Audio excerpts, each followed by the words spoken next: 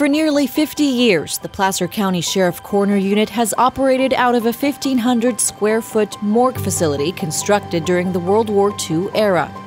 The facility had only one autopsy station and separated three key players forensic pathologists, the chief deputy coroner, and coroner investigators who were forced to work from a different location.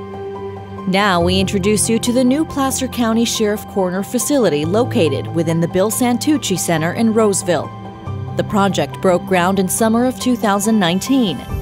The walls went up that fall, and finishing touches were made in the beginning of 2021. The new facility spans 20,000 square feet and includes an 1,800 square foot autopsy complex with five autopsy stations, along with an observation platform for Sheriff's Office staff with views into autopsy suites.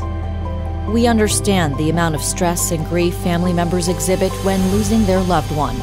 The facility features a dedicated family meeting space to ensure their experience is as comforting as possible providing the highest level of public service to our community and families is the number one priority for the Placer County Sheriff's Office.